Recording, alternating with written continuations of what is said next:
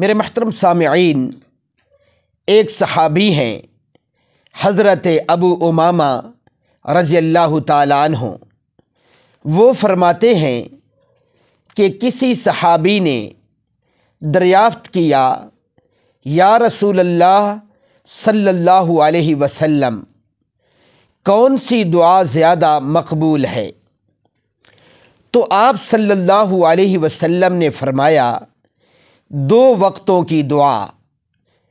एक, रात के आखिरी हिस्से के दरमियानी वक्त में, और दूसरी, फ़र्ज़ नमाज़ों के बाद। तो मालूम हुआ, एक तहज्जद के वक्त की दुआ, वो मकबूलियत के ज़्यादा करीब है। तो इसलिए कोशिश करनी चाहिए कि ऐशा की नमाज़ पढ़कर अगर दीनी मसरूफियात ना हो तो फ़ौर सो जाना चाहिए।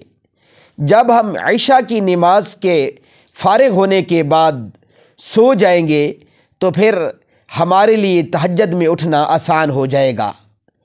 और दूसरा वक्त दुआओं की कबूलियत का, वो ये है कि फ़र्ज़ नमाज़ों के बाद।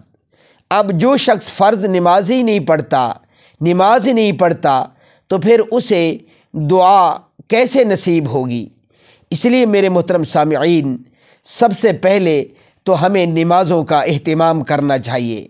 जब हम इन नमाज़ें पढ़ेंगे तो ज़हर सी बात है, नमाज़ पढ़ने के बाद हमें अल्लाह रब्बुल दुआ की भी तोफ़ी दे देंगे। और जब दुआओं की तोफ़ी होगी तो इन वो दुआएँ कबूल भी होंगी और हमारे मसाइल भी अल्लाह रब्बुल हल फरमाएँगे।